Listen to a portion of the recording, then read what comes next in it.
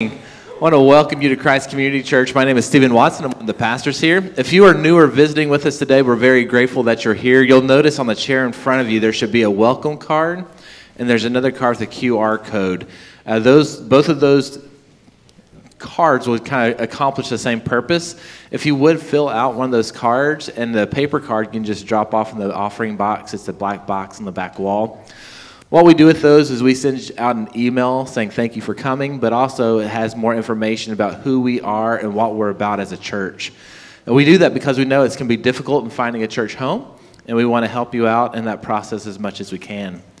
We also send out a weekly email, which serves as our bulletin full of announcements and updates and other things that are going on. So you can keep your eyes open for that. And also, you can respond to that to RSVP for different events. One of those events coming up is what we call our Next Step Dinner. It's going to happen on the evening of September 22nd.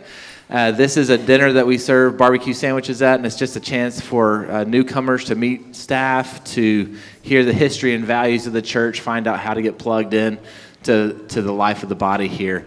If you're interested in coming to that, we do have childcare at that event. Uh, if you're interested in coming to that event, you can RSVP by emailing office at christ.communitychurch, or you can respond to the weekly bulletin, or you can just grab me after the service and say, hey, write my name down for the next step of it, and that'll get you RSVP'd. This evening at 4 p.m., we have our first women's study group. This is a discipleship class where we uh, are studying the Bible. This Sunday, we're going through Genesis 1 through 11, doing a broad overview, and then throughout the rest of the semester, we'll be going through the rest of the book of Genesis. Uh, the women will gather in this room. We'll move out some chairs, set up some tables. Uh, we'll meet in this room, and we will we'll just go through the book of uh, those first few chapters of Genesis. Just a time of um, fellowship with other ladies, time of engaging with the Word of God. So we invite you to come to that. We do have childcare for for ladies whose husbands are deployed or who might be a single mom. Uh, so it's, it's a limited childcare. So if you need that limited childcare, uh, you can just let us know. You can let me personally know. We'll just make sure we have enough child care workers for you. Uh, otherwise, uh, leave, leave your kids at home with dad. That's really one of the main purposes. We alternate those men and women uh, study groups on Sunday evening. And then on September 14th, that's next Saturday, if you are a, a, a family and your husband or your wife is deployed, you can come drop your kids off on September 14th here at the church from 9 to noon and we'll have people up here to play with your kids while you go out and have a cup of coffee or, or shop by yourself or whatever else you need to do. Uh, but that's coming up this coming Saturday. And if you could, I know we'll, as, as we stand to sing here in a second, we'll have another wave of people come in. So if you could, if you could move towards the aisles whenever we stand up. So um, this will allow our ushers to kind of seat people on the sides as they show up here in a little bit. If you would please stand for our call to worship. From Psalm 34, verses 1 through 3, it says, I will bless the Lord at all times. His praise will always be on my lips. I will boast in the Lord. The humble will hear and be glad. Proclaim the Lord's greatness with me. Let us exalt his name together.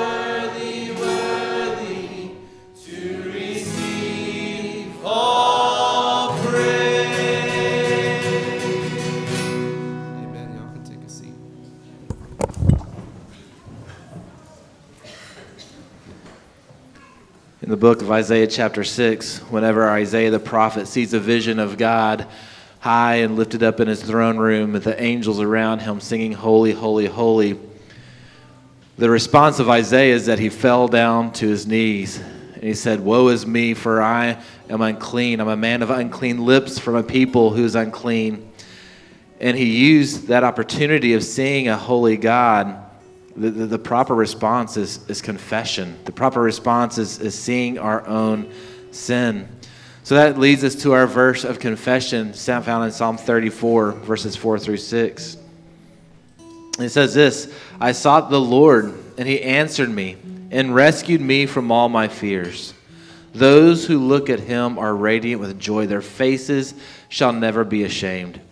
The poor man cried, and the Lord heard him and saved him from all of his troubles. Whenever Isaiah saw his own sin, he was distraught. He was brought down low. The, the, the weight of the holiness of God was upon him. But what do we see happening in Isaiah chapter 6? But Isaiah's sins being forgiven and his face being lifted up. Whenever we see the holiness of God and respond in a confession of our own sin, the response of God is forgiveness of sins. And he provides a way of forgiveness through Jesus Christ. Let's take the opportunity for the next few moments to silently confess our sins to God.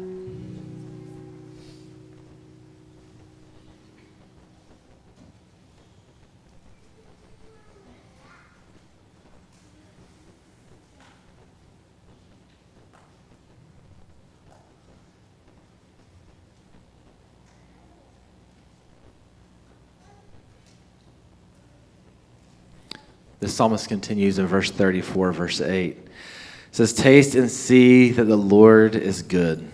How happy is a person who takes refuge in him. Heavenly Father, you are a holy God. You're a holy God who hates that which is wicked, which hates that which, which is sinful. But Lord, even while we were your enemies, you loved us and you sent your Son to die for us, to provide a way to receive the forgiveness of sin. Lord, we have tasted and we have seen that you are good. We have taken refuge in you and we have found peace and happiness there. So, Lord, thank you for forgiving our sins and thank you for lifting us up and reconciling us to yourself. And we pray this in Jesus' name. Amen. Christ Community Church, remember that in Christ Jesus, your sins are forgiven. We have a time of confession and assurance of pardon at this time in our service because it leads up to this ceremony that we call the Lord's Supper. This is one of the ordinances of the church, and we, we, we participate in this ordinance on a, on a weekly basis.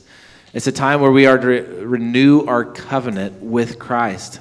So it doesn't matter if you're a member of Christ Community Church or not. If you have your faith and hope in Jesus Christ, we invite you to participate with us. However, if you don't know Christ, if you're not following him in faith, we would ask that as you come forward with the rest of us, that you just say, Not today, Pastor. And that will just be a sign to us that you don't want to take the elements. We'll pray a prayer of blessing over you. And just so you know, that doesn't make you stand out at all. No one will notice. It's a, quite a common thing in our church for people to do that for all sorts of reasons. But the reason we'd ask you to do that is a very simple reason. Because whenever we take this representative cup and we eat this representative bread, what we are doing is we are proclaiming our faith in Christ. This is a physical act that, that portrays this, this spiritual reality that our hope and faith is in Jesus Christ. On the night that Christ was betrayed, he was with the disciples in the upper room, and he took the bread, he blessed it, and he broke it, and he said, This bread represents my body, which is broken for you. In the same way, then Christ took the cup and he said, This cup represents my blood, blood which is shed for the forgiveness of many sins.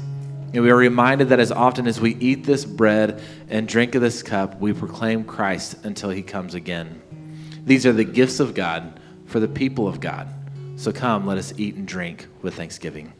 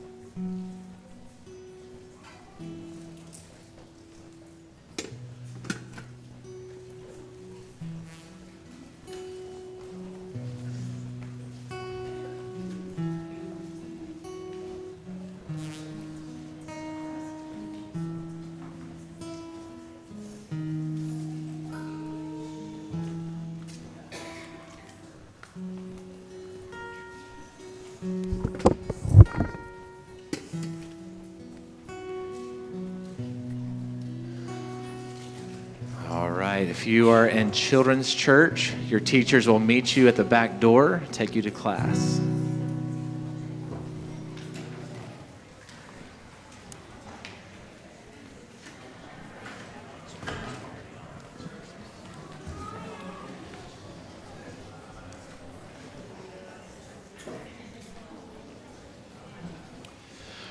All right, if you all turn to me this morning with me to Acts chapter 15, we're going to be reading verses 1 through 35. Buckle up, it's a long passage.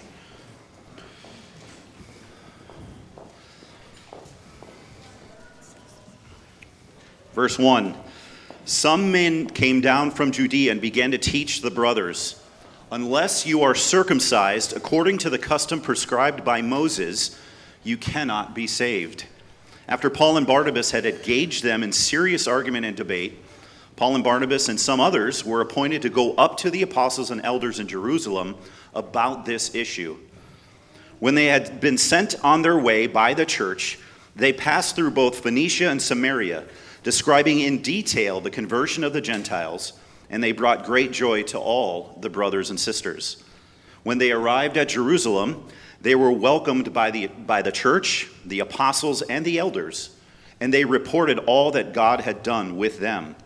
But some of the believers who belonged to the party of the Pharisees stood up and said, It is necessary to circumcise them and to command them to keep the law of Moses. The apostles and the elders gathered to consider this matter.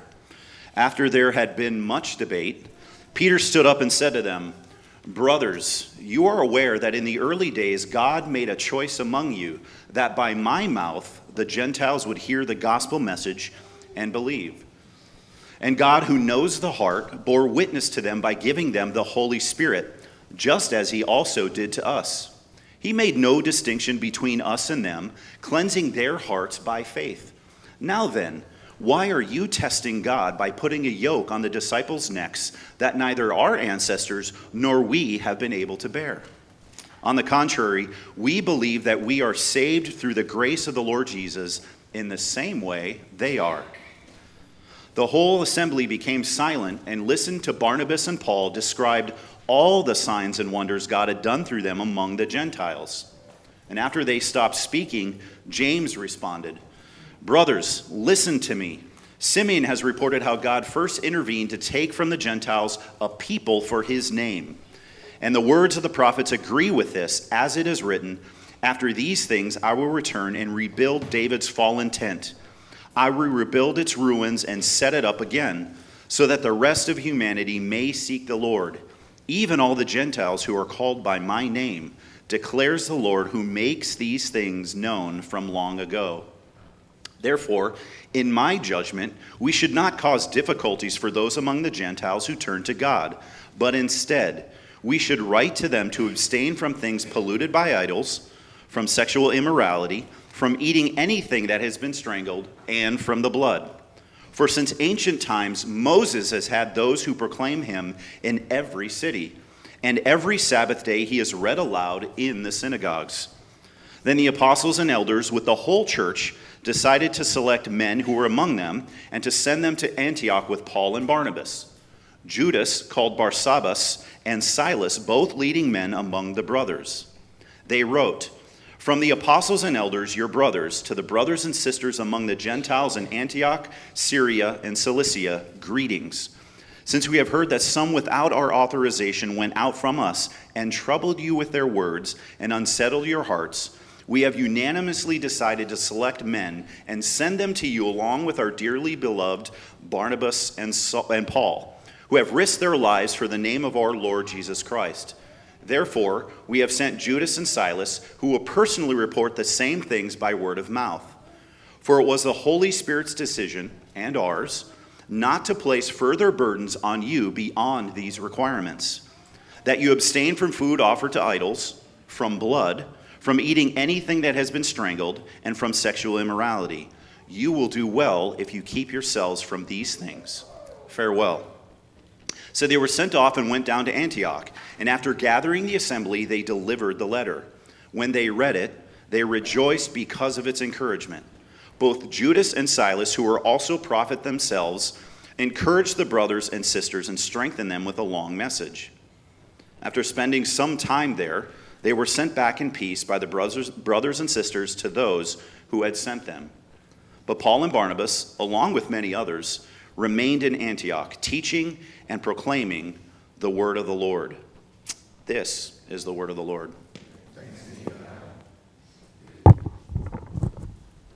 Thank you, Chris. Appreciate you reading that long passage. Before we get into today's message, let's take a moment to go to the Word of the Lord in prayer. Dear Heavenly Father, thank you for letting us have your Word in its entirety, Lord, and having the desire to hear from you so that we can apply your precepts to our lives in a way that brings you glory and honor, Lord, and is not a distraction to others. In Jesus' name I pray. Amen. So, today we're going to be talking about a life in context. How do we live in context, and how do we deal with things that we see may be taken out of context? And lucky for you, uh, Joshua Portwood here volunteered for something for me this morning. And talking about blind faith, he had no idea what he was volunteering for and still doesn't. Josh, can I get you to come here for a second? I got something I want you to hold here, all right? Okay. All right. Now, if I can have you go about halfway down the aisle and stand there and hold it over your head and stop. The other way. No, the, the, the stick. Up. Turn around. All right. And, and a half step to your left. There you go. Okay. Now, what does it mean when you're talking about things that are good enough? There are times in our lives when we deal with things that are okay to be good enough, and there's times when there's not. Right? And it can be dangerous to our health when we start taking things out of context and not using them in a way that it was intended to. In this case, the scripture with taking the context of the law of Moses and applying it to people who it wasn't.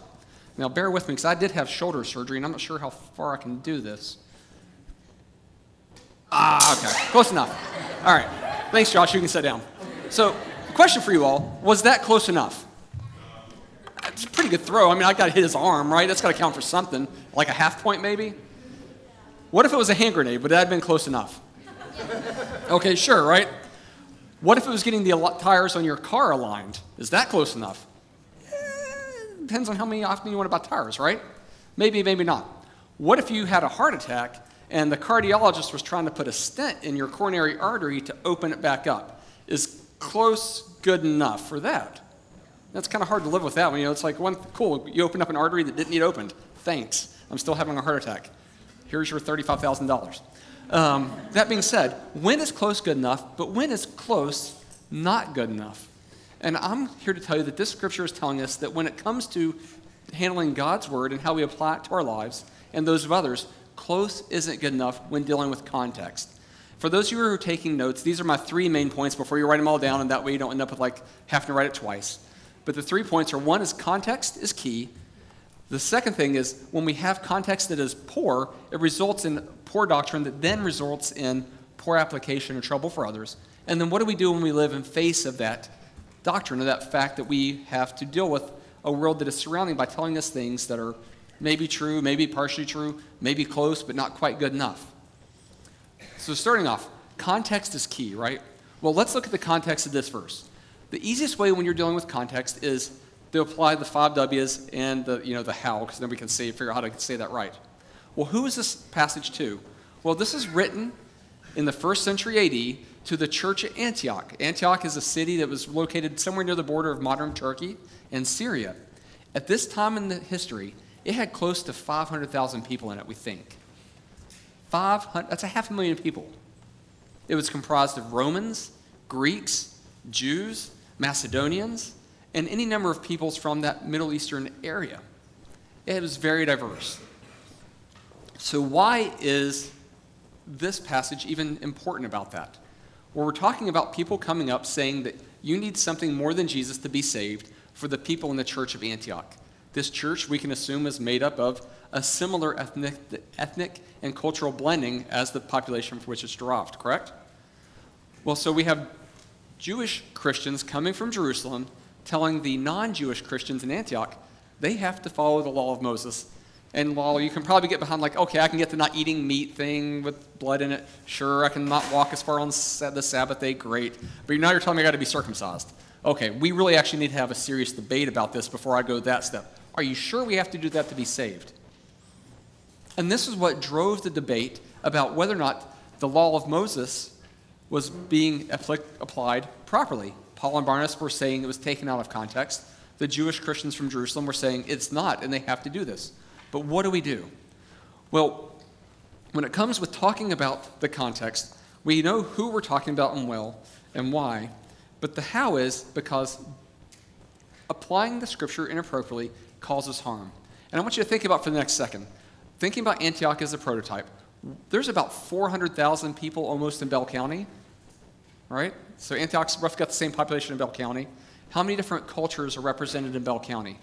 How many different ethnicities? How many different beliefs? And that's not due in any small part to Fort Cavazos because it brings people constantly to this area, takes people from this area, and we always have a mixing of people. Antioch is no different than Bell County is today. And yet we're still responsible for making sure we teach people and live our lives in a way that shows people the correct way to apply Scripture. Now, one of the ways we look at Scripture and try to determine the context is you have to look at the verses that precede it and the verses that come after. A simple example here is if you just read the first half of chapter 15, you don't know who Paul and, uh, Paul and Barnabas and these people are talking to. You look back at the end of chapter 14, we know it's Antioch. But sometimes it's not that easy. Sometimes you have to look at the entire book that that passage comes from. Sometimes you have to look at the beginning of it and the end of it because the argument is nested within another argument. Sometimes you have to look at that passage in the context of the entire gospel narrative from the Old Testament through Revelations. But it's important and it's worthwhile doing so to prevent you from taking Scripture out of context. Now, I want you to think for a second what are some Scriptures that you have seen taken out of context? Anybody got any suggestions? I know there's a couple here. All right. What about Philippians 4:13? I can do all things through Christ who strengthens me. And a scripture taken out of context. Right? Everybody seen that one used by an athlete or somebody who's like, I'm going to do this thing because the Bible says I can. What about Matthew 7 7? Ask and you will be given to you. Seek and you will find. Knock and the door will be opened. A little prosperity gospel comes out of that one, right? No matter what, you, what it is you want, you ask for it, you'll get it. That's what that means, isn't it? What about Romans 8 28? We know that all things work together for the good of those who love God and who are called according to his purpose. Anybody seen these verses taken out of context potentially? But what is the danger of taking scripture out of context? What is the danger that the first century church here was experiencing by taking the Mosaic law and applying it in a way it was not supposed to be applied? Well, the authors of the Simeon Trust First Principles course, which is a short course for expositional preaching, they liken to taking scripture to support an argument. So let's say I've got a position, I'm going to preach on not falling over to my left. And so I'm going to find every scripture in the Bible that says the left is bad and I'm going to lean on it. They talk about that being drunk in the pulpit. But I'm here to tell you that even if you're not in the pulpit, when you cherry pick scripture to help support your own position, to justify what your own belief is, rather than letting that scripture guide and shape your beliefs, it's no different than being drunk in public. You're leaning on something that is going to cause you to trip and falter, and worse, it's going to cause other people to follow after you and trip and fall down over top of your body and prevent them from getting to Jesus. That's one of the dangers of cherry picking scriptures. But I want you to reflect for the next few minutes on do you understand the context of your favorite scriptures? Have you ever pulled a Bible verse out just to support something to prove you're right without considering what that Bible verse was actually talking about?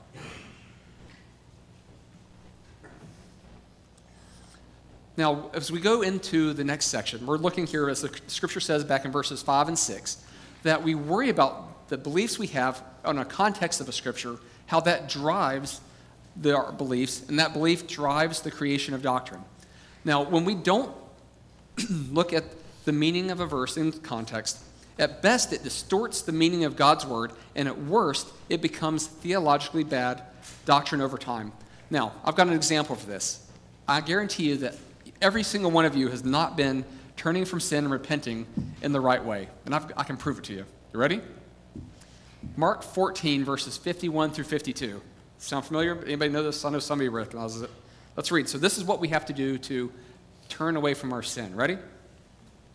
Now, a certain young man, wearing nothing but a linen cloth, was following him. They caught hold of him, but he left the linen cloth behind and ran away naked. So we think the young man here is Mark, writing about himself, and the him they're talking about is Jesus. So here's the only thing you have to do. So this verse tells us exactly what we have to do in order to turn away from sin, right? The first thing we have to do is we believe, whether right or wrong, that to correctly follow Jesus, you have to wear clothes made of nothing but linen.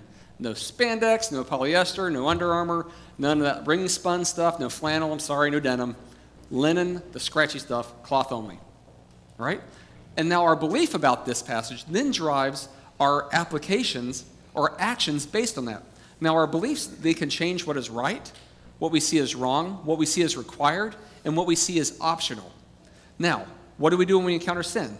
We've got our linen cloth on, right? We're prepared. We've got the full armor of linen cloth on. Well, now somebody's sinning. We strip down completely naked. We turn and run the other way away from it, right? The verse said it. That's what Mark says, right? It's, he's following Jesus. Y'all believe that, right? Please don't do that. I'm taking this entirely out of context. And at best case, if you do this, you're going to end up with a felony record and you're going to have trouble visiting your kids at school. Please don't do, don't do any of this. I'll address it later. That's an example of taking something out of context. Don't do that. But it's easy, right? It's easy to do that. And you can make a verse mean anything you want if you're willing to sacrifice the meaning of what it's intended for. But I want you to think about this. What is the context of this passage before we go in further so I can clarify it? Well, this is the night that Jesus was surrendered to the Pharisees in the Garden of Gethsemane before he was crucified the following day. What Mark was happening here, Mark was following him here, and the people who were arresting Jesus were looking for his followers to arrest him as well. Mark was following him, and when those people that were trying to arrest him grabbed Mark, he wasn't trying to run away from sin, he was running away from, from fear of his own life. He stripped his clothes off and took off running just like David, or Joseph did from Potiphar's wife. He was trying to get out of there, not because he was running from sin, but because he was running out of fear. He's still running and turning away from something, but the difference between running out of fear and running out of repentance are not the same. That little bit of context changed the meaning of this verse entirely. But again, please don't wear linen unless you really like it. And don't get naked and run away from people. It looks weird and causes problems. Now, this is just a silly example of what it's like to take verses out of progress, right, or out of context. But I want you to think about the times that you have personally been the recipient of another person putting unnecessary requirements on you out of a misunderstanding of context. What was the context that we're talking about here? What were the believers in Antioch being told they had to do to be a good Christian? Well, they're being told that they had to get circumcised in addition to following the entirety of the law of Moses. What have you personally been told is required for you to be a good Christian? Have you been told that you can't wear pants to church? Have you been told you can't wear jeans? Again, linen cloth, right? Have you been told that if you didn't tithe enough money, you weren't a good Christian? Have you been told that if you didn't serve in the children's ministry, you weren't a good Christian? Sorry, Lindsay, I don't think she's in here. But seriously, what have you been told in your life that people have put on you that have hampered your faith and your ability to love and follow God? I guarantee you, every single person here has been told something like that. And how did it make you feel?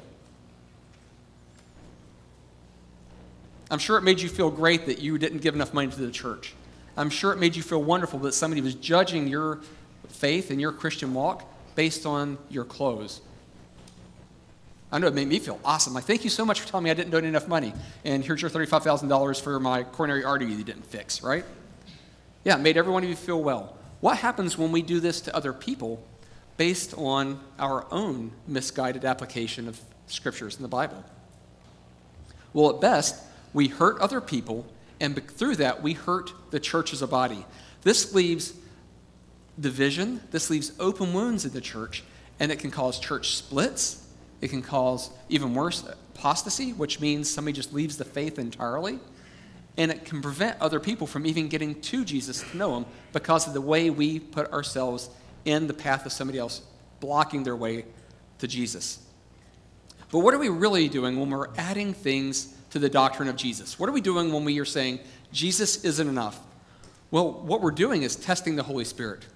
But what does that mean? In verse 10, it says, Now then, why are you testing God by putting a yoke on the disciples' necks? So, like the scripture is saying here, we are testing God, making unnecessary requirements for other people. Testing God means nothing more than simply knowing what God is telling you to do or not to do, and then doing completely the opposite. It's saying, go to Nineveh, and I'm going to say, no, I'm going to go the opposite direction. We do this all the time. We've done this from the time of humans' creation all the way through the t- end of time. We're going to continue to do this. Adam and Eve, don't eat the fruit in the middle of the tree. Sounds like a great plan. I'm going to go eat the fruit in the middle of the tree, the middle of the garden, rather. That's all it is. Testing God is knowing what you're supposed to do and not doing it. But again, this is something that even on a cultural level, we see people struggling with, not even just an individual level. The Israelites, who had some of the most profound personal encounters with God, still did the same thing. Exodus 17 7, he named the place Massah and Meribah because the Israelites complained because they tested the Lord, saying, Is the Lord among us or not? I mean, that cloud and fire we've been following for like 40 years, something like that, all the food coming from the heaven, parting seas, you know, all those things are great, but is God actually with us? Like, I don't know. Like, it's kind of hard. Like, that fire is kind of weird and all. Moses, your face is all glowy and some weird stuff, but I don't know. Is God actually here? The snakes, I, I just don't understand it. The walls fell down, I, I get, but is God really here or not? They were testing God as a culture. And it wasn't just one time. This is something that happened for generations. If you look forward to Deuteronomy 6:16, do not test the Lord your God as you tested him at Massah. They're still doing it. We are still doing the same thing. We are taking scripture out of context and trying to make it fit our own beliefs.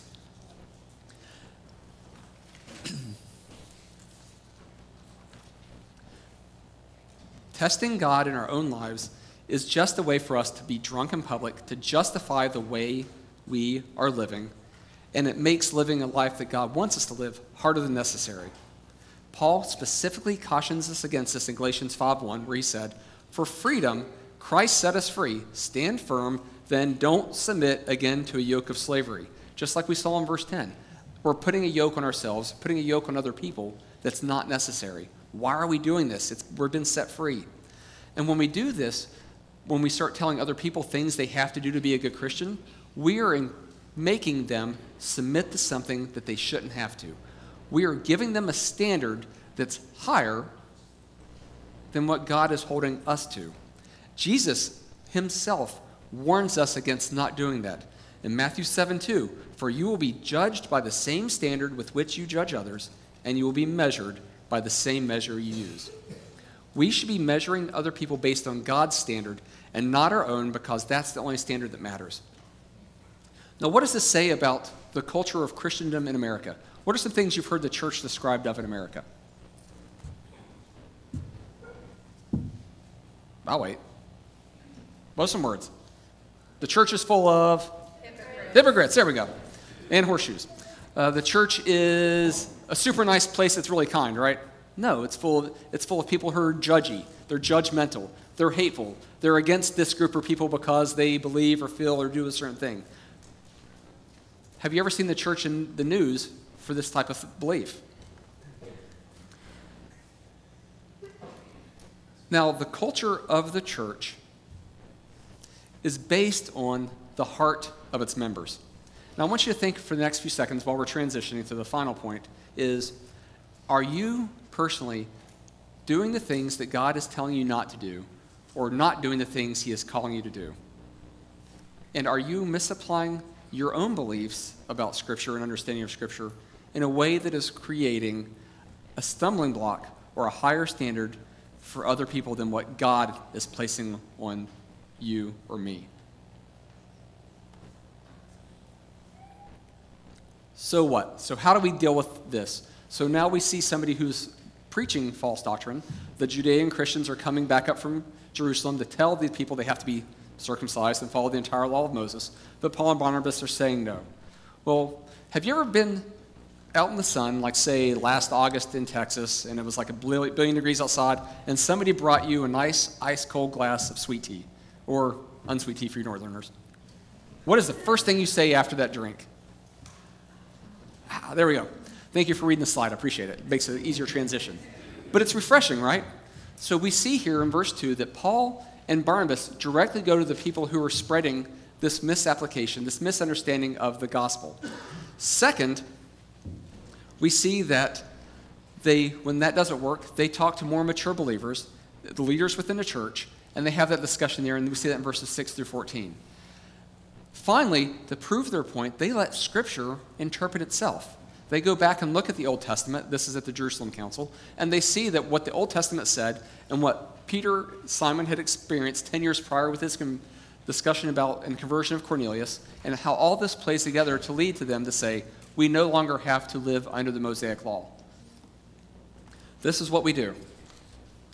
And lastly, if you find yourself on the under, other side of this, and somebody is reproofing you or rebuffing you based on Scripture, be humble and submit to it.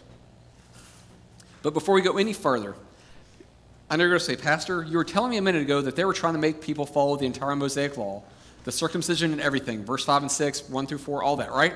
But now, if we look forward in verses like 20, 15 through, let's see, what was it?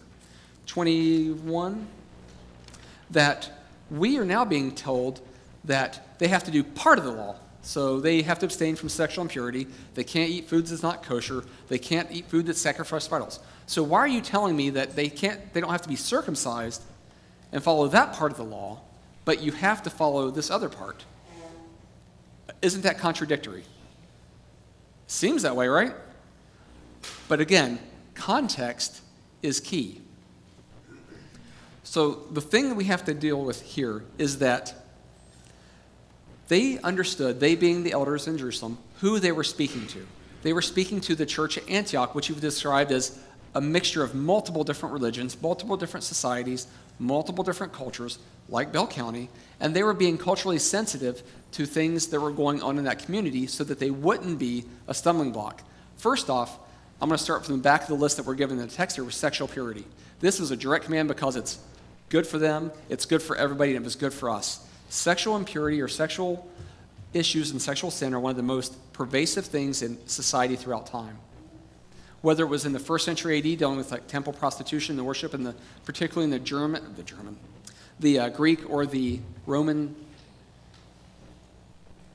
religious practices, or if it's us today dealing with issues with pornography or premarital sex, it is pervasive and yet it's held by God to be a different class of sin than many others. And we see that in 1 Corinthians chapter 6 verses 18 through 20.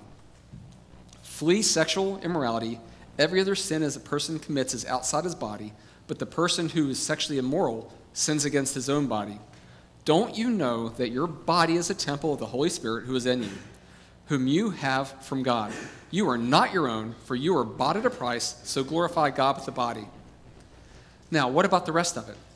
The rest of this, talking about the eating food that was strangled or had blood in it or sacrificed to idols, we already know that Peter was told that this is not an issue, and that happened 10 years earlier when he saw the sheets coming down earlier in Acts we were talking about right before he went and met Cornelius.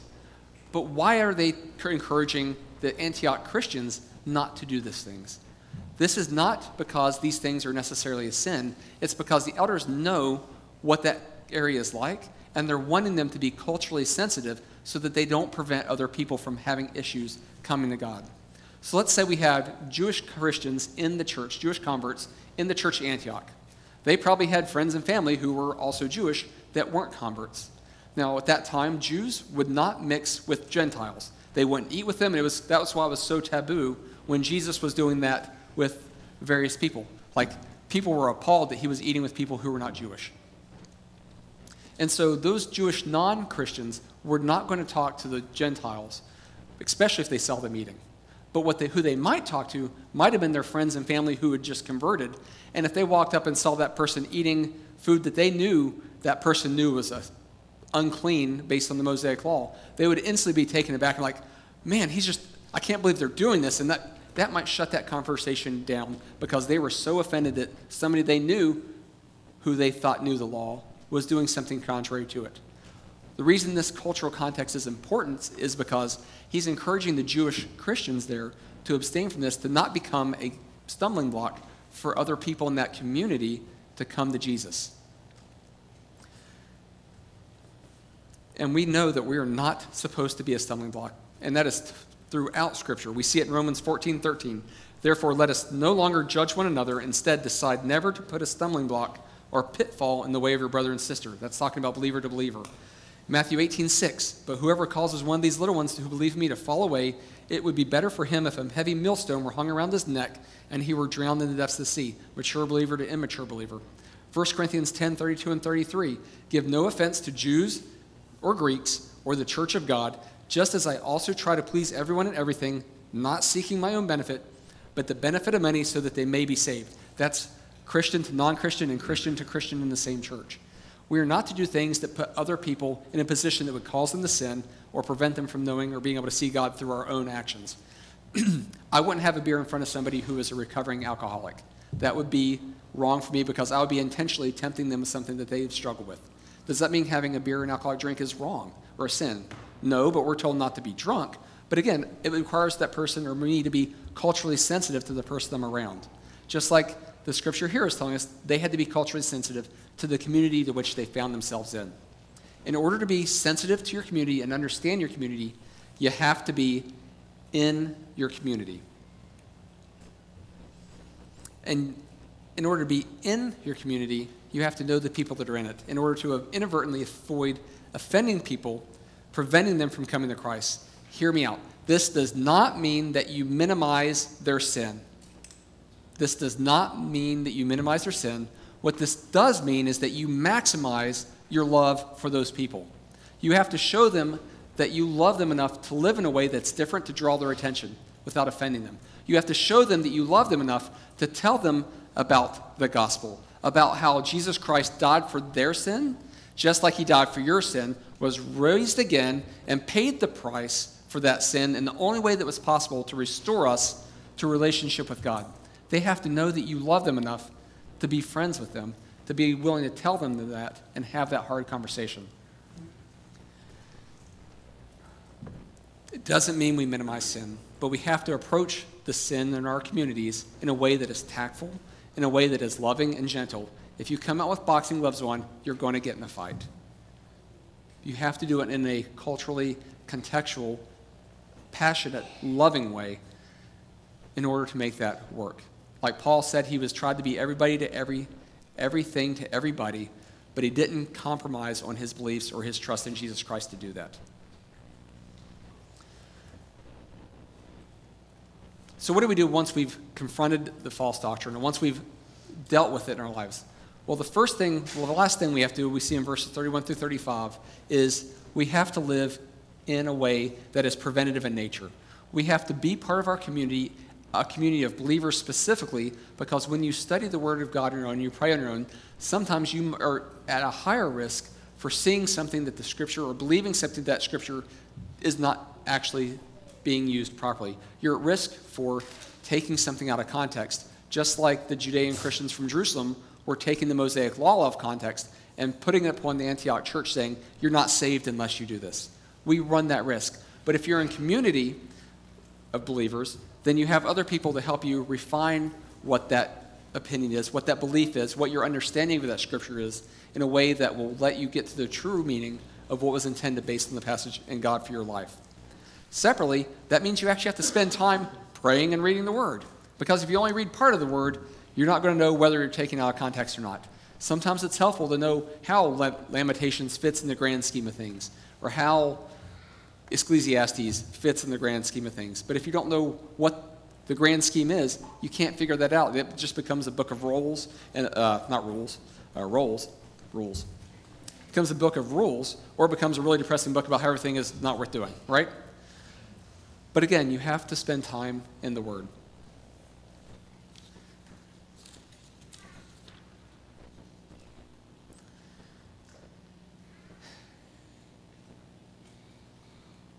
So I want you to think about this as we're getting ready to close.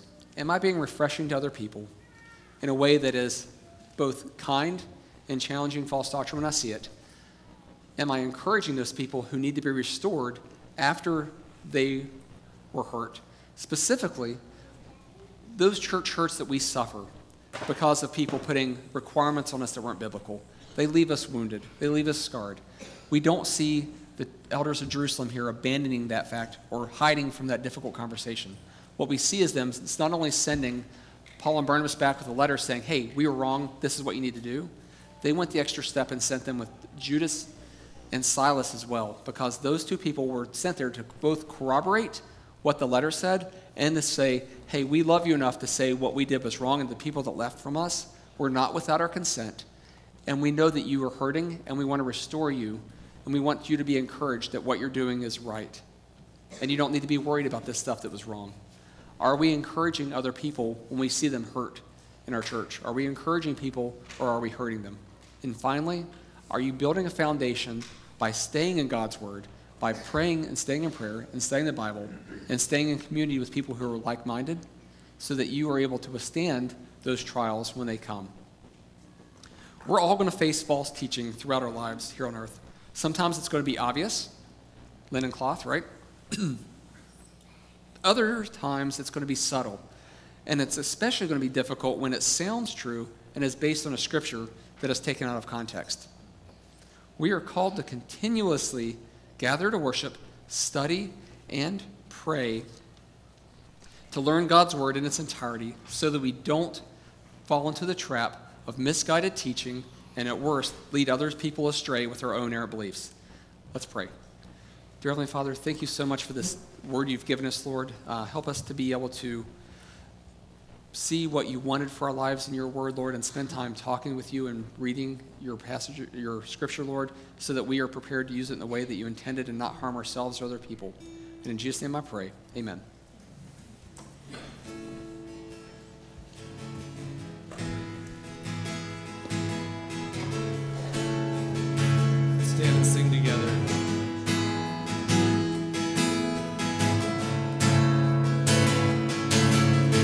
I was an orphan lost at the fall, running away when I'd hear you call. Father, you worked your will. I had no righteousness of my own. I had no right to draw near your throne. Father, you love me still. And in love before you world's foundation, you predestined to adopt me as your own. You have raised me up so high above my station. I'm a child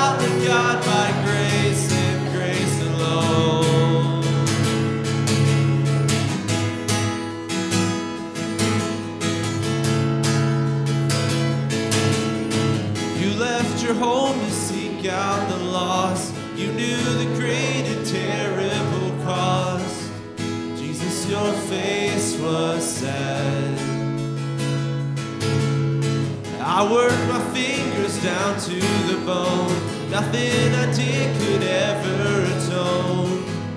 Jesus, you paid my debt. By your blood I have redemption and salvation. Lord, you died that I might reap what you have sown. And you rose that I might be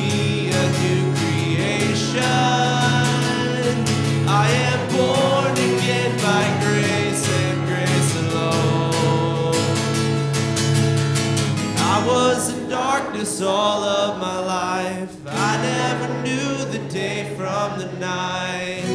But Spirit, you made me see. And I swore I knew the way on my own. Head full of rocks, a heart made of stone. Spirit, you moved in me. At your touch, my sleeping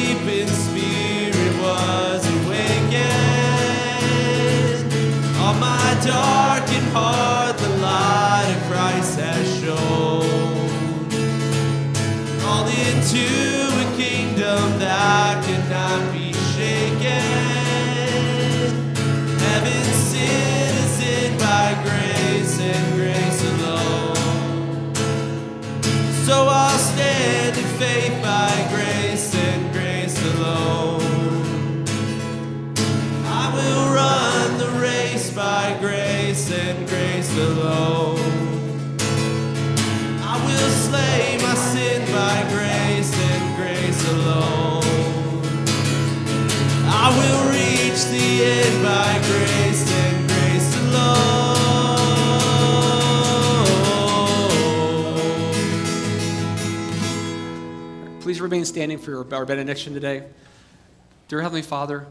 Thank you for letting us have the entirety of your word, Lord. Let us be able to go out and be a guide along the path to you, Lord, instead of a security guard blocking the way for others.